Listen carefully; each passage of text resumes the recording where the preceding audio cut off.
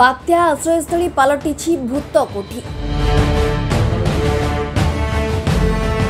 ବାତ୍ୟା ଓ ବନ୍ୟା ସମୟରେ ଲୋକମାନଙ୍କୁ ସୁରକ୍ଷିତ ରହିବା ପାଇଁ ବିଭିନ୍ନ ସ୍ଥାନରେ ନିର୍ମାଣ ହୋଇଥିବା ବାତ୍ୟା ଆଶ୍ରୟସ୍ଥଳୀ ଏବେ ଅଦରକାରୀ ହୋଇପଡ଼ି ରହିଛି।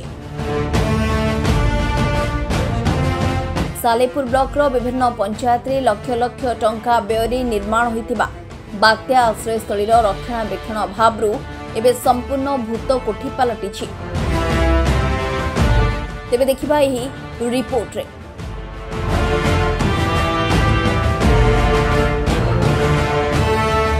ତେବେ ଦର୍ଶକ ବନ୍ଧୁ ଦେଖନ୍ତୁ ଏହି ଦୃଶ୍ୟକୁ ବାତ୍ୟା ସମୟରେ ଲୋକମାନଙ୍କୁ ସୁରକ୍ଷିତ ରହିବା ପାଇଁ ନିର୍ମାଣ ହୋଇଥିବା ବାତ୍ୟା ଆଶ୍ରୟସ୍ଥଳୀର ବାସ୍ତବ ଚିତ୍ର ସାଲେପୁର ବ୍ଲକର ମଧ୍ୟଗଛ ପଞ୍ଚାୟତର ଆତୋଡ଼ା ଭୀମଦାସପୁର ପଞ୍ଚାୟତର ପ୍ରହରାଜପୁର ପିକୋଳ ପଞ୍ଚାୟତର ବଣହରା ସାହିଗଡ଼ା ରାମକୃଷ୍ଣପୁର ପଞ୍ଚାୟତର ଏଲମାପୁରଠାରେ ଥିବା ଏହି ବାତ୍ୟା ଆଶ୍ରୟସ୍ଥଳୀ ଏବେ ପୁରା ବିପଦ ସଂକୁଳ ଅବସ୍ଥାରେ। ଦେଖନ୍ତୁ କେଉଁଠି ମୂଳ ପିଲାର ଖାଇଗଲାଣି ତ କେଉଁଠି ଗଛ ଉଠି କାନ୍ଥ ଫାଟିଗଲାଣି। ପୁଣି କେଉଁଠି ଛାତ ଫାଟି ରଡ୍ ବାହାରି ବର୍ଷା ହେଉଛି। କବାଟ ଝରକା ସବୁ ଭାଙ୍ଗି ମୁକୁଳା ପଡ଼ିଛି। ଲକ୍ଷ ଲକ୍ଷ ଟଙ୍କା ବ୍ୟୟରେ ସରକାରଙ୍କ ତରଫରୁ ନିର୍ମିତ ଏହି ବାତ୍ୟା ସମୟରେ ଲୋକମାନଙ୍କ ଆଶ୍ରୟକୁ ନେଇ ଉଠିଛି ନାନା ପ୍ରଶ୍ନ।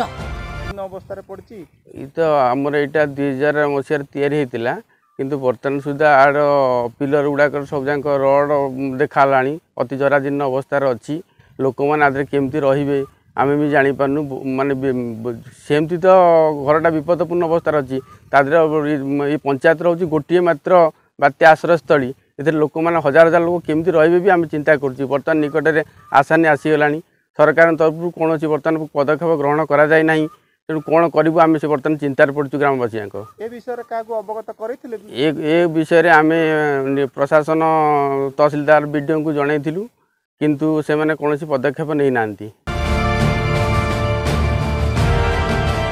ବାତ୍ୟା ଆଶ୍ରୟସ୍ଥଳୀ ଗୁଡ଼ିକର ସୁରକ୍ଷା ପାଇଁ ସ୍ଥାନୀୟ ବାସିନ୍ଦା ବାରମ୍ବାର ଅଭିଯୋଗ କରୁଥିଲେ ମଧ୍ୟ ସରକାରୀ ବାବୁମାନେ ଆସି ଦେଖି ଯାଆନ୍ତି କୌଣସି ସୁଫଳ ମିଳିପାରେ ନାହିଁ। ତେବେ ପୁଣି ବାତ୍ୟା ଆସୁଥିବାରୁ ସ୍ଥାନୀୟ ଲୋକେ ଏବେ ଚିନ୍ତାରେ କାରଣ ଏହିସବୁ ଗ୍ରାମରେ ହରିଜନ ଲୋକଙ୍କ ସଂଖ୍ୟା ଅଧିକା। ବାତ୍ୟା ସମୟରେ ନିଜେ ରହିବା ସହିତ ଗୃହପାଳିତ ପଶୁପକ୍ଷୀମାନଙ୍କୁ ଏଇଠାରେ ସୁରକ୍ଷାରେ ରଖିଥାନ୍ତି।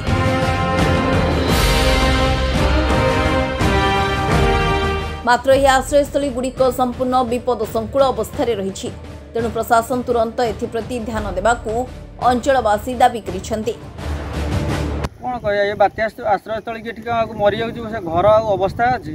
ବରଂ ଘରେ ରହିକି ମରିବୁ ବରଂ କିନ୍ତୁ ବାତ୍ୟା ହେଲେ ଆଉ ସେ ବାତ୍ୟା ଆଶ୍ରୟସ୍ଥଳୀ ଭିତରକୁ ଯିବାକୁ ଆଉ ଇଏ ନାହିଁ କି ଲୋକ ବି ଆଉ ଯିବେନି। ତା ଭିତରେ ଆଉ ଅବସ୍ଥାରେ ନାହିଁ ସେ ଗଳି ପଡ଼ିବ।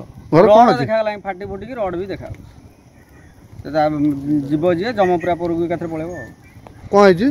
ସେ ଘର ଟୋଟାଲି ଉପରେ ଛାତ ଆଉ ପୁରା ଭୁଷୁଡ଼ିକି ଇଏ ହେଇଗଲାଣି ତାର ପାଣି ଲିକେଜ୍ ହେଉଛି। ତା ଦେହରେ ଉପରେ ଦେଖିଲା ବେଳକୁ ରଡ଼ ଫଡ଼ ସବୁ ଦେଖାଯାଉଛି ତଳ ଇଏ। ସାପ ଫାପ ତା ଭିତରେ ସବୁ। ଆଉ ତା ଦେହରେ କ'ଣ ଆଉ ତା ବାତ୍ୟା ଆଶ୍ରୟସ୍ଥଳୀ ଭିତରକୁ ଯିବ ଲୋକ ଆଉ?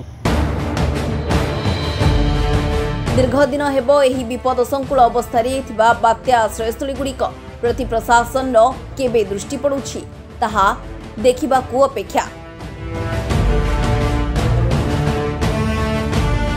କଟକରୁ ତୁଷାର କଟକରୁ ତୁଷାର ଜ୍ୟୋତି ନାୟକଙ୍କ ରିପୋର୍ଟ ଓଡ଼ିଶା ହାଲଚାଲ।